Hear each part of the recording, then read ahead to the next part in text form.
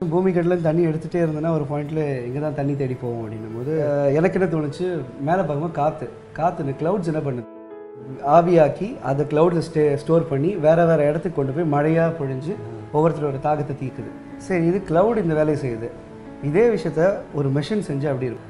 இப்போ காற்று வந்து உள்ளே போயிட்டு இது வழியாக வெளியில் வந்துடும் காற்று தண்ணியாக மாறுற இடம் அதுதான் டியூ பாயிண்ட் அந்த பாயிண்டில் தண்ணியாக மாறி இது வழியாக உங்களுக்கு தண்ணி கொட்ட ஆரம்பிச்சிடும் இந்த மிஷினில் வந்து எவ்ரி ஆர் ஒரு லிட்டர் தண்ணி எடுக்க முடியும்.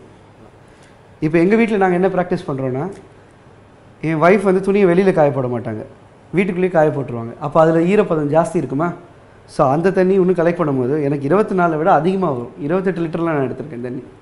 ஸோ அதுவும் ஒரு கைண்ட் ஆஃப் துணியும் காஞ்சிருது தண்ணியும் நீங்கள் கலெக்ட் பண்ணிக்கிறீங்க.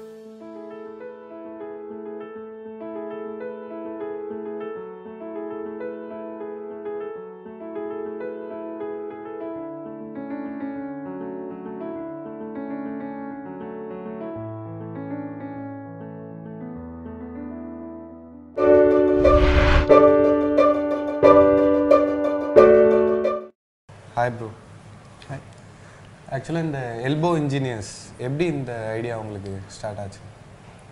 எல்போ இன்ஜினியர்ஸ் நான் வந்து காலேஜ் படிக்கும்போது ஸ்டார்ட் பண்ணேன். ஒரு group of engineers from different colleges different background start பண்ணோம். Like four boys and two girls இதுதான் ஸ்டார்ட் பண்ணோம்.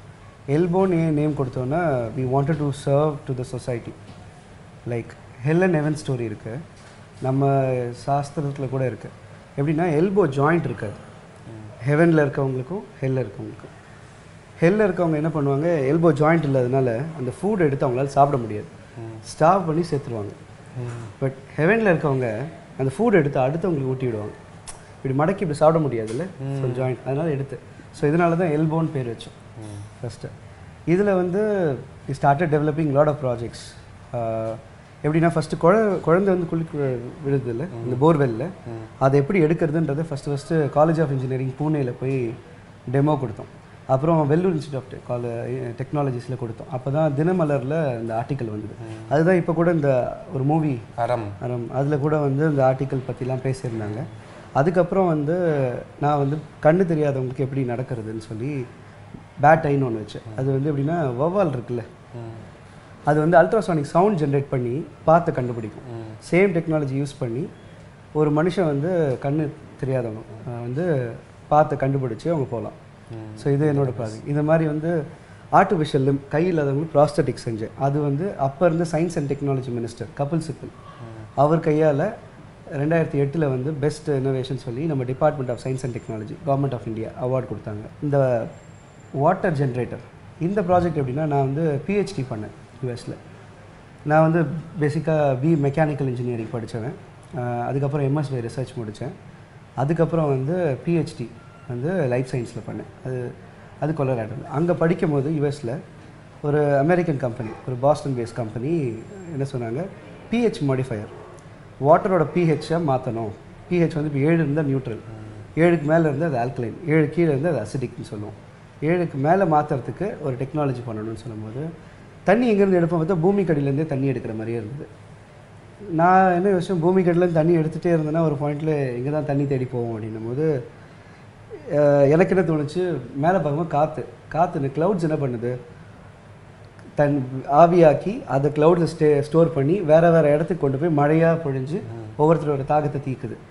சரி இது க்ளவுட் இந்த வேலையை செய்யுது. இதே விஷயத்த ஒரு மெஷின் செஞ்சு அப்படி இருக்கும் அப்படின்னு யோசிக்க ஆரம்பித்தேன் அப்போ ஆவியாக போயிட்டே இருக்கு. அது எவ்வளோ ஆவி போகும் காற்றுல அப்படின்னு மெஷர் பண்ணு.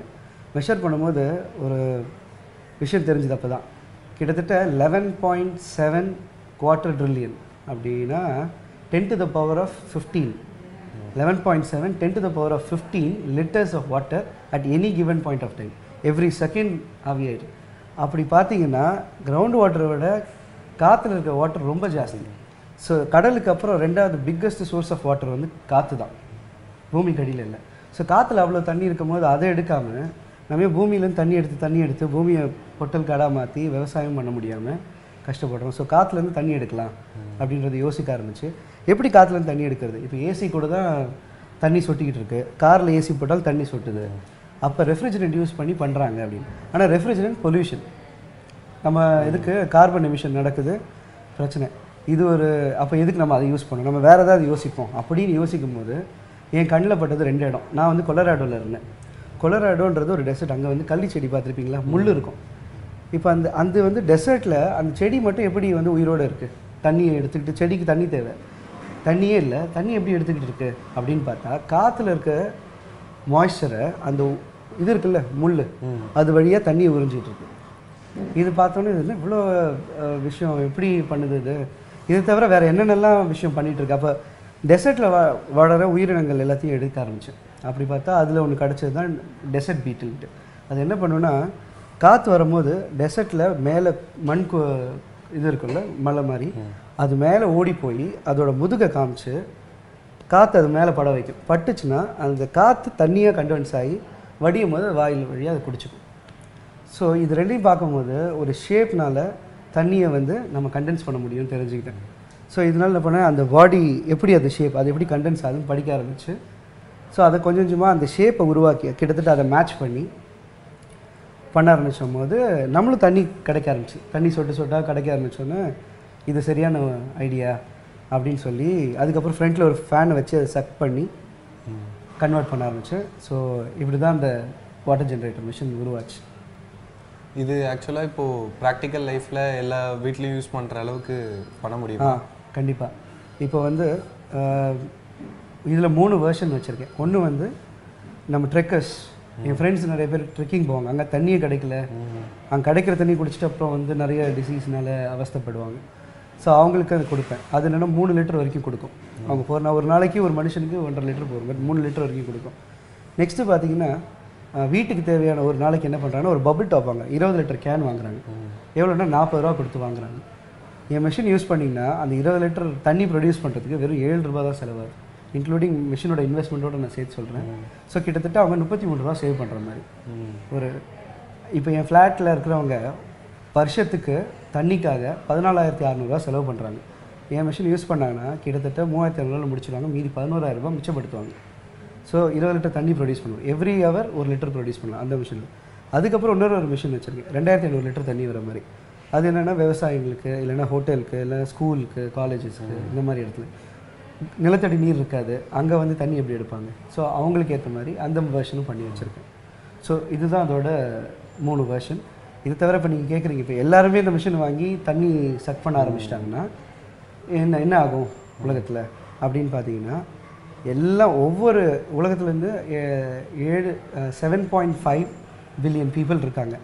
எல்லாருமே ஒரு நாளைக்கு பத்தாயிரம் லிட்டர் நீங்கள் பத்தாயிரம் லிட்டர் நான் பத்தாயிரம் லிட்டர்னு எல்லாருமே எடுத்தால் கூட கிட்டத்தட்ட அதை விட பதினோரு மடங்கு தண்ணி ஒன்று காத்துல இருக்கும் அப்போனா வந்து தொண்ணூறு பில்லியன் பீப்புள் இருந்து பத்தாயிரம் லிட்டர் எடுத்தால் கூட அடுத்தடுத்த செகண்ட் வந்துகிட்டே இருக்கும். புரியுதுங்களா? நான் இப்போ ஏழு பில்லியனில் தான் இருக்கும்.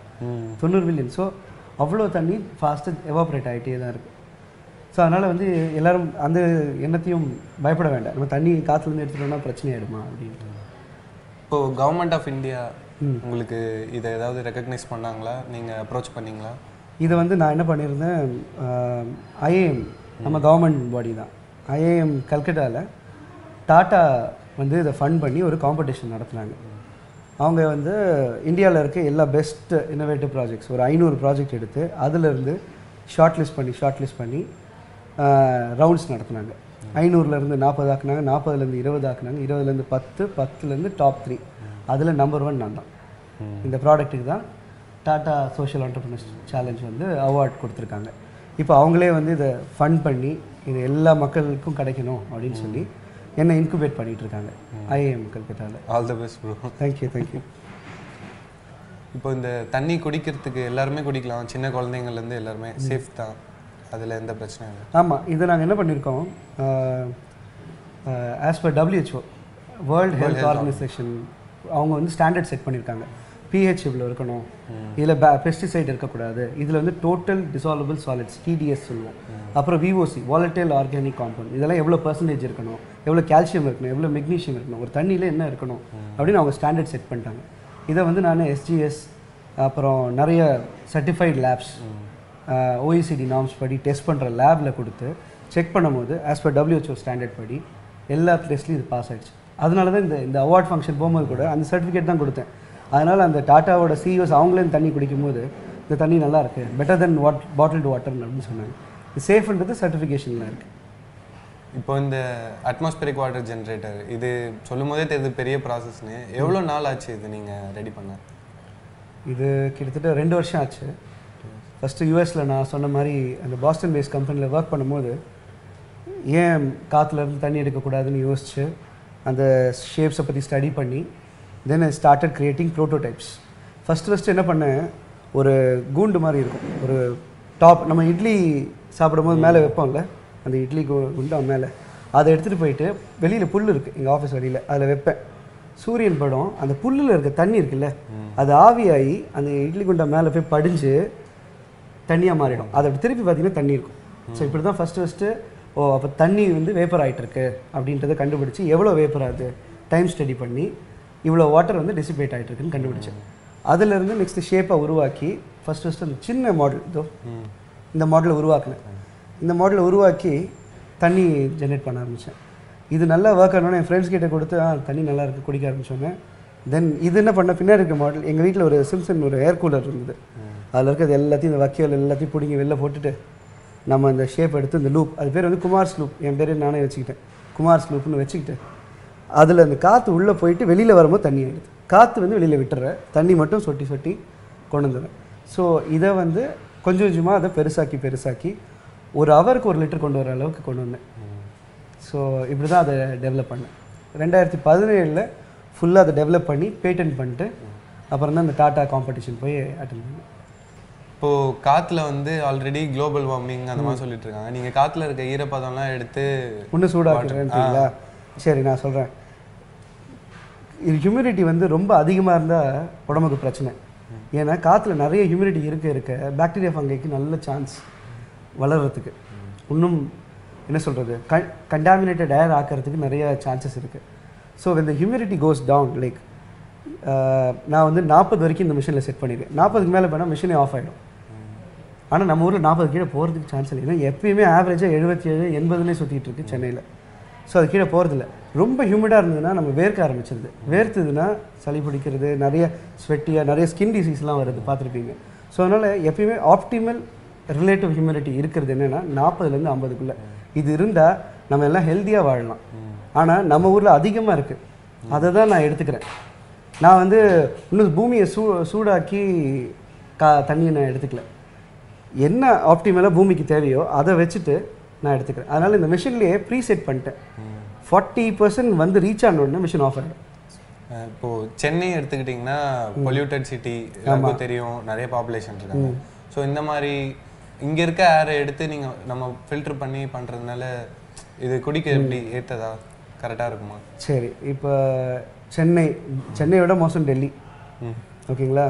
அதோட மோசமான ஊர்லாம் போய் நான் அந்த மிஷினை வச்சு செக் பண்ணேன். என்ன பண்ணேன்? அப்போ அந்த பாக்டீரியா வருது. பாக்டீரியா இருக்குது ஃபங்கை இருக்குது இல்லைன்னா பொல்யூஷன் இருக்குது எல்லாம் சொல்கிறீங்க எல்லா மைக்ரோ ஆர்கானிசம்ஸ் இருக்குது இதில் என்ன கொடுத்துருக்கேன்? ஒரு ஸ்பெஷல் கோட்டிங் கொடுத்துருக்கேன். டைட்டானியம் டை ஆக்சைடு கோட்டிங் அந்த கோட்டிங் கொடுத்ததுனால என்ன ஆயிடுது? அந்த யூவி லைட் அந்த கோட்டிங் மேலே விழும்போது நீங்கள் சொல்கிற அந்த பொல்யூஷன் அந்த மைக்ரோ ஆர்கானிசம் அதெல்லாம் சாக ஆரம்பிக்கும். எப்படின்னு கேட்டிங்கன்னா இந்த லைட் அது மேலே விழுந்தவுடனே இந்த பாக்டீரியா எல்லாம் ஒரு போனை போட்டால் நாய் எப்படி ஓடி வருமோ அந்த மாதிரி ஓடி வரும். அது பேர் தான் கேட்லிஸ்ட் இந்த டிஐஓ டூ கேட்லிஸ்ட் ஆக்ட் ஆகும்.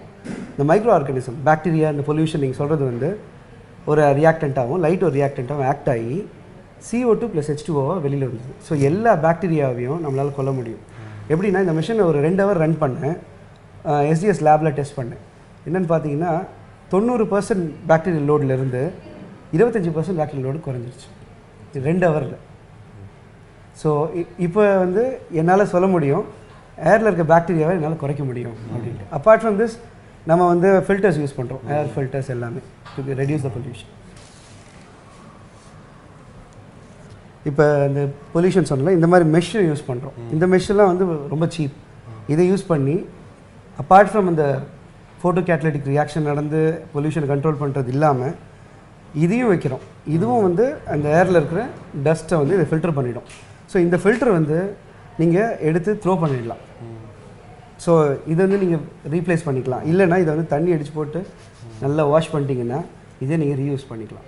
நம்ம ஏர் கண்டிஷனர்ஸ்லாம் இருக்கும் ஆமாம் சேம் டே. எஸ் நீங்கள் இப்போ குளோபல் வார்மிங் குளோபல் வார்மிங் சொல்லிட்டு இருக்கீங்கல்ல? பூமியை சூடாக்குறதுன்ட்டு.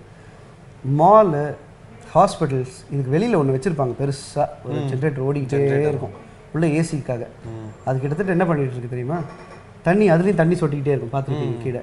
கிட்டத்தட்ட என்ன பண்ணுது? காற்றுல இருக்க தண்ணியெல்லாம் எடுத்துக்கிட்டே அந்த தண்ணியை கீழே உருவாக்கி உள்ள குளிர்ந்த காற்றை விட்டு வெளியில் சூடு காற்றை வெளில அமிச்சிட்டே இருக்கு. அது கூட இது கம்பேர் பண்ணும்போது இஸ் நத்திங் நம்ம வந்து அது வந்து ரென் எக்ஸாம்பிள் ஒரு கம்பேரிசன் சிம்பிள் கம்பேரிசன் இதே இருபது லிட்டர் தண்ணி இந்த ஏசி மிஷின் உருவாக்கணும்னா மூவாயிரம் வாட் யூஸ் பண்ணும் பவர் இந்த மிஷின் ஜஸ்ட் இந்த சீலிங் ஃபேனோட கம்மியாக இந்த சீலிங் ஃபேனுக்கு நூறு வாட் வேணும். இந்த மிஷின் வெறும் எழுபத்தஞ்சு வாட்டில் உங்களுக்கு இருபது லிட்டர் கொடுத்துரும். இது மூவாயிரம் வாட் யோசிச்சு பாருங்க. இதுதான் டிஃப்ரென்ஸ் ஸோ இப்போ இந்த மிஷின் ஆன் ஆகிடுச்சு இதில் இப்போ இந்த ரூமில் எவ்வளோ டெம்பரேச்சர் எவ்வளோ ரிலேட்டிவ் ஹியூமிடிட்டின்றது இந்த மிஷினில் சொல்லியிருக்கு. இப்போ காற்று வந்து உள்ளே போயிட்டு இது வழியாக வெளியில் வந்துடும் அப்படி வரும்போது நடுவில் வந்து குமார்ஸ் லூப்னு உள்ளே வச்சுருக்கேன். அந்த லூப் வழியாக உள்ளே போயிட்டு காற்று வெளியில் வரும்போது அந்த லூப்போட எண்டில் வந்து it will reach the dew point dew point reach பண்ணும்போது the point where vapour converts into water காற்று தண்ணியாக மாறுற இடம் அதுதான் டியூ பாயிண்ட் அந்த பாயிண்டில் தண்ணியாக மாறி இது வழியாக உங்களுக்கு தண்ணி கொட்ட ஆரம்பிச்சிடும் இது கொட்டுறதுக்கு முன்னாடி நடுவில் என்ன இருக்குன்னா ஃபோர் ஸ்டேஜ் ஃபில்டர் ரெண்டு கார்பன் ஃபில்டர் ஒரு செடிமெண்ட் ஃபில்டர் ஒரு மினரல் அடிஷன் ஸோ இது வழியாக தண்ணி வெளியில் கொட்டும். ஸோ உங்களுக்கு கிளியர் ட்ரிங்கிங் வாட்டர் உங்களுக்கு கிடைக்கும். நீங்கள் இதை குடிச்சிடலாம். இதில் இப்போ தண்ணி பார்த்தீங்கன்னா இப்போ இது வரைக்கும் சொட்டி கலெக்ட் ஆகிட்டுருக்கு இப்போ இந்த மிஷினில் வந்து எவ்ரி ஆர் ஒரு லிட்டர் தண்ணி எடுக்க முடியும். ஒரு இருபத்தி நாலு மணி நேரம் ஓடுச்சுன்னா டுவெண்ட்டி ஃபோர் லிட்டர்ஸ் மேக்ஸிமம் தண்ணி எடுக்கலாம். ஸோ சம்டைம்ஸ் ரிலேட்டிவ் ஹியூமிடிட்டி வந்து கம்மியாச்சுன்னா ஸோ மினிமம் வந்து டுவெண்ட்டி லிட்டர்ஸாவது நீங்கள் தண்ணி எடுக்கலாம்.